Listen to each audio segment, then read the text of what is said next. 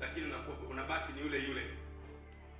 Kifo ni ulikuwa unakaa Manchester, unahamishiwa Washington DC, lakini wewe yule yule. Hiyo ndiyo concept ya Biblia ya kifo. Lakini akili yetu inawaza kufa ni kupotea, kufa ni kuyeyuka. Sio. Biblia inasema kwenye kitabu cha Zaburi 80 Zaburi 116 mstari wa 15, ina thamani machoni pa Bwana mauti ya wachamungu wake. Yaani Mungu anasema mchamungu wa Mungu akifa mauti yake ina thamani kweli. Lakini pia kwenye kitabu cha Ufunuo sura ya 14 na mstari wa 13, nikasikia sauti kutoka mbinguni ikisema, andika, heri wafu wafao katika Bwana tangu sasa, naam, asema Roho, wapate kupumzika baada ya tabu yao, kwa kuwa matendo yao yafuatana nao. Inasema watu wanaokufa katika Bwana wamebarikiwa, it is a blessing. Lakini Wafilipi sura ya kwanza na mstari wa 21 imeandikwa, kwa maana kwangu mimi kuishi ni Kristo na kufa ni faida. Maandiko haya matatu, moja linasema in, inapendeza mauti ya mtakatifu wake. Andiko lingine linasema heri wafu wafao katika Bwana. Andiko lingine linasema waziwazi kwamba kufa ni Kristo. Yanatuhakikishia kwamba mtu anapokufa katika Kristo hajapotea. Na jambo moja ambalo nataka lisajiliwe katika akili zetu, kuna sababu kwa nini kuna maaskofu wengine wengi ambao wangepewa nafasi hii ya kusema, lakini kama wangesema wao, mtu angesema anasema kwa sababu hajafiwa. Maneno hayo anasema kwa sababu hajafiwa. Nimeona ni aseme mimi. Wakristo tunamwamini Yesu kwa tumaini la kwenda mbinguni. The greatest hope unto why we believe in Jesus Christ because we are hoping for a country called heaven. Hiyo ndiyo tumaini kubwa. Vinginevyo tufanye yote tunayoweza kufanya, kwa sababu kama mbingu haipo, tuna tumaini la kwenda mbinguni. Na kuna taratibu za kwenda mbinguni. Kwanza, kumwamini Yesu, unaishi maisha matakatifu, halafu unakufa ukiwa umeishika hiyo imani. Ukifanya hivyo, umekwenda mbinguni. Sasa mama alikuwa anayashika hayo yote. Kwa nini unasikia wanasema shujaa, shujaa, shujaa? Mama mama amezaa watoto kumi na wawili. Hawa watoto ni mmoja mmoja, tena hawa watoto wana tofauti ya miaka miwili miwili.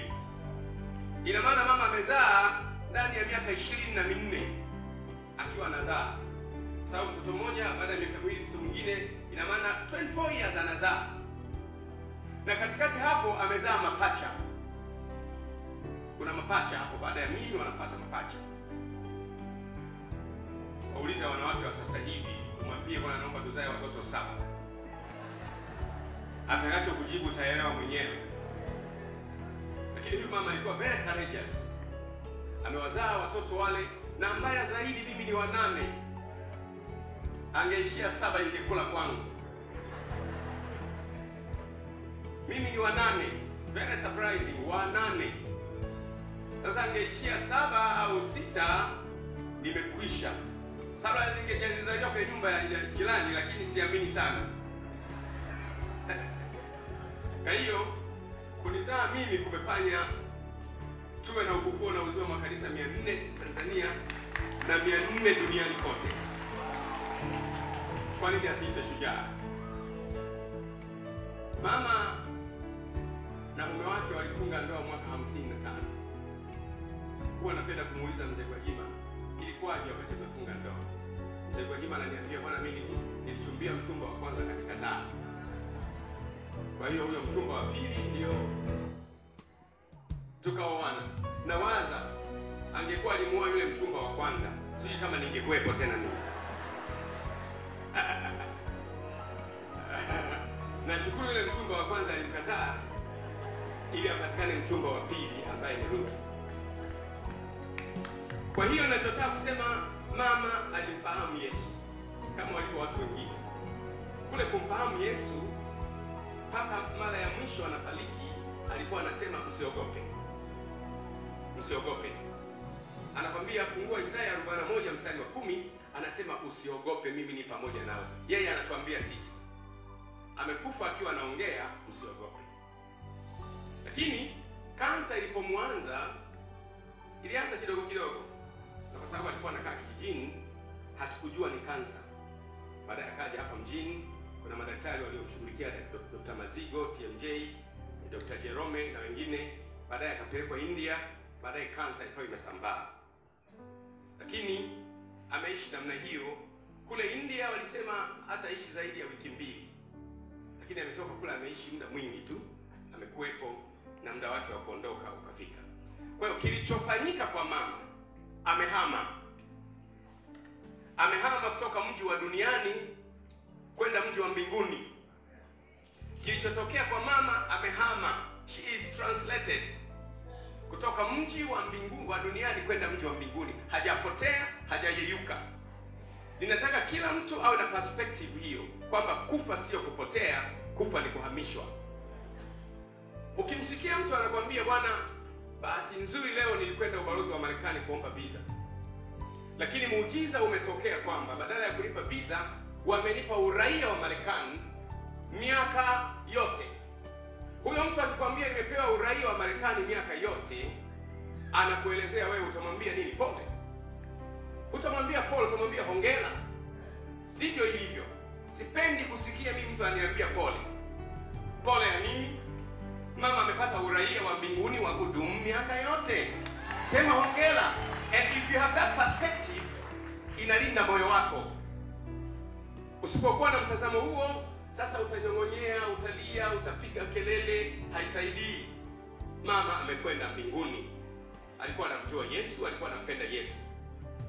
Ufufuo na uzima, sisi tunarudisha misukule.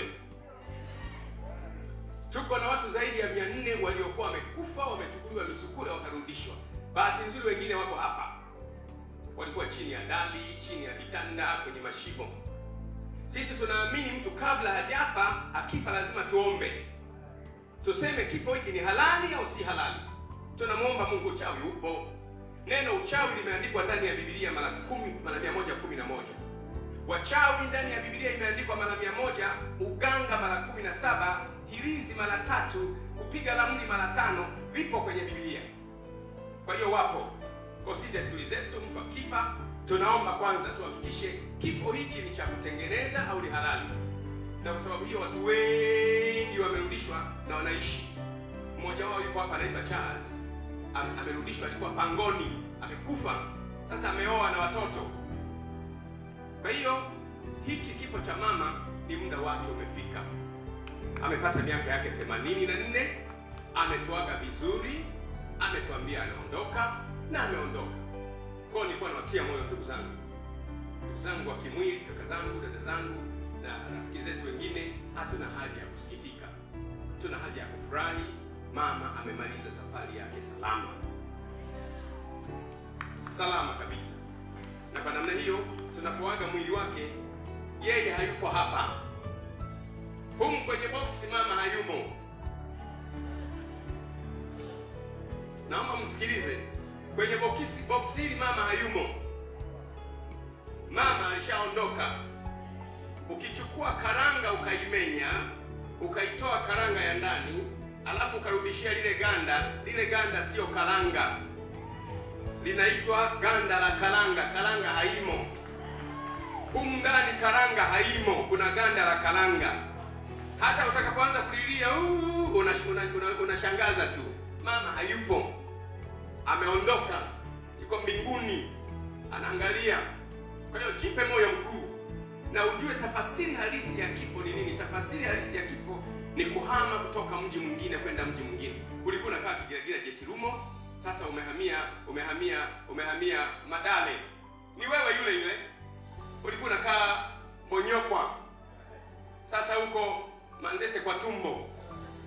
Ulikuwa unakaa Manzese uwanja wa Fisi sasa umehamia Manzese kwa Bonge. Ni huyo huyo mama alikuwa anakaa duniani, amehamia mbinguni, lakini yeye yule yule hajapotea.